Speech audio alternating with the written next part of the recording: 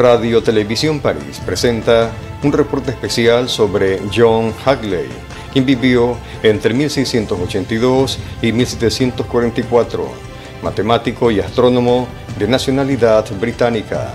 Introdujo importantes cambios en los llamados primitivos telescopios reflectores. John Hadley nace en Herefordshire, Inglaterra, abril 16 de 1682. Fallece en Londres, Inglaterra, febrero 14 de 1744.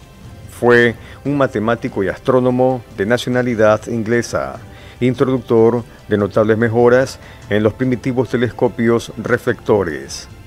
Basándose en el pequeño telescopio reflector presentado por Sir Isaac Newton a la Royal Society, inició la tarea de pulir y construir un instrumento de mejor calidad.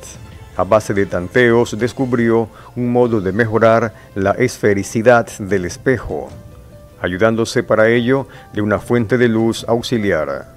Después de varios intentos prometedores, terminó en enero del año 1721 el primer telescopio reflector capaz de competir con los largos refractores de la época que presentó en la Royal Society para su examen. El instrumento de 15 centímetros de diámetro tenía una calidad muy superior a la de los de mejores telescopios de la institución.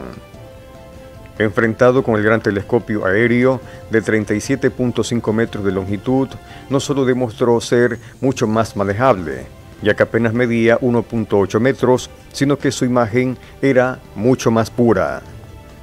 Estos éxitos animaron a James Sword a fabricar telescopios reflectores de mayor diámetro y calidad. En 1730 inventó el octante o cuadrante de Hadley, aparato astronómico para uso náutico. En su honor, Nicolás Luis de Lacaille bautizó con este nombre una constelación austral, Octans, en 1752. Dentro de la eponimia, en su honor se han bautizado dos accidentes de la superficie de la Luna, el Mons Hadley y la Rima Hadley.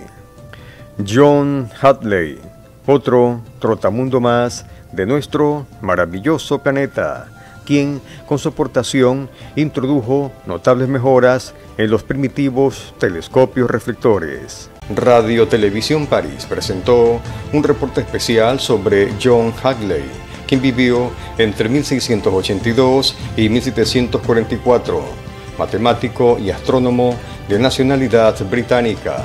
Introdujo importantes cambios en los llamados primitivos telescopios reflectores. Mario Muñoz Arevalo, Radio Televisión París.